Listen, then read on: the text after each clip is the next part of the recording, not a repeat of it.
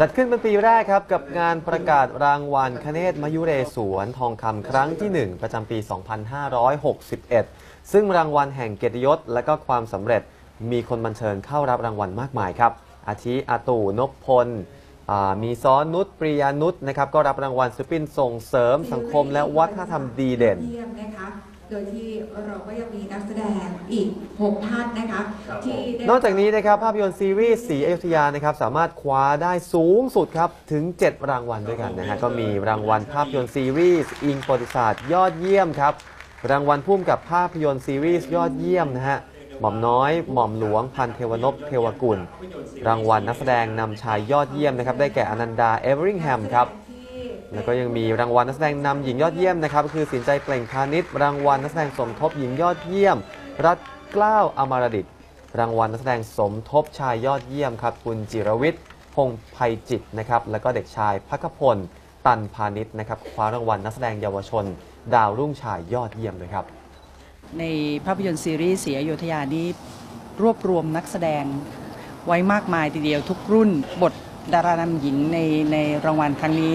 ก็ขอให้เป็นของนักแสดงหญิงทุกคนในศรีอยุธยาด้วยดีกว่า ผม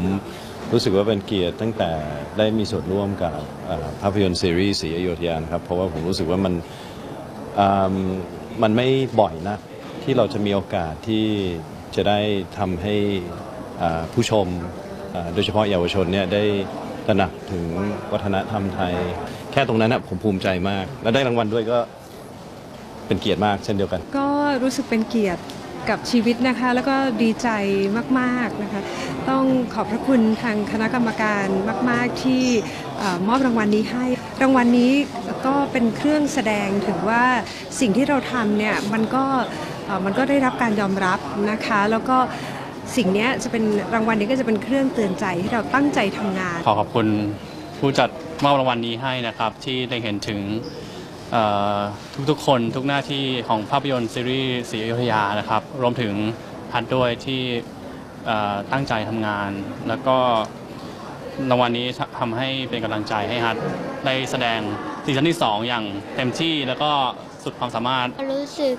ดีใจแล้วก็ประทับใจมาก ๆ เลยครับ ที่ได้รับรางวัลนี้ ถือว่าเป็นเกียรติอย่างยิ่งมากครับก็พ่อแม่ก็ดีใจด้วยครับ เพราะว่าเป็นรางวัลที่ทรงเกียรติแล้วก็เป็นเด็กคนแรกที่ได้รับรางวัลครับยินดีแล้วรู้สึกเป็นเกียรติอย่างมาก ๆ เลยนะครับ การทำงานตั้งแต่เริ่มแรกมาตลอดเนี่ยเราพยายามคิดถึงเรื่องของสังคมเป็นใหญ่ ให้เป็นประโยชน์ต่อสังคมมากที่สุดครับ รางวัลยังไม่หมดเพียงเท่านี้นะคะ นักแสดงจากวิกหมอชิดค่ะ อย่างคุณส้มธัญศินีนะคะ และโตนนวงบุญยังควงกันนะคะ มารับรางวัลศิลปินจิตอาสา